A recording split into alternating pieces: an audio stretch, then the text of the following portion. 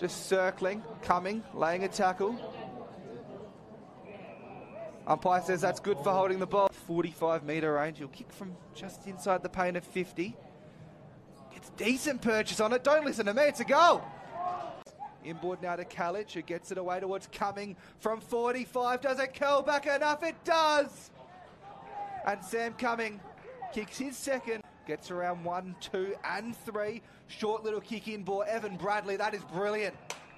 We were it a few years ago, now on the Crows list. In, kicks a goal, and puts them six points up halfway through the last quarter at Port Pirie, North Adelaide. 8 10 50. Up the line, it was Scott. Oh, that's good mark. Fantastic mark. Coming again.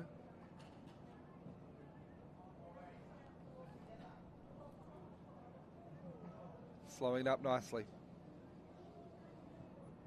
Just puts it back to whence it came, right at the top of the goal square. A couple of flies. Ball spills out the pack. It's a goal! Uchon Benia. It's a goal!